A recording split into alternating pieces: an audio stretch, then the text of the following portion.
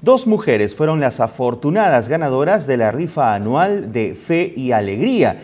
Estos premios serán entregados en Jesús María. Se trata de dos automóviles cero kilómetros, nada menos. Miren ustedes.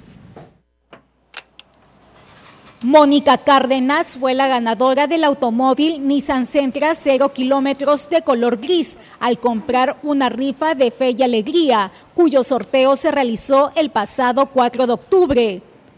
Esta mujer recibió las llaves de manos del padre Antonio Bax, secretario general de esta institución educativa.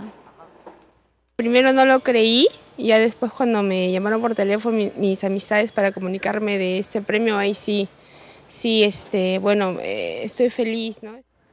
Esa misma suerte también corrió Olinda Villafranca, quien recibió este premio mayor en presencia de sus familiares. Un premio que le cae como un regalo del cielo. Me sentí tan alegre, contenta, ¿no? De, de haberme pues este, sacado, ¿no? Este auto. Y lo único dije, Señor, gracias. Mónica y Olinda recibieron sus flamantes autos en presencia del notario público Alberto Guinar. El padre Bax agradeció a ambas mujeres por haber colaborado con la rifa a favor de la educación peruana. Muchas gracias, porque gracias a Dios y gracias a, a ellas mismas que han pensado en alguna manera en fe y alegría.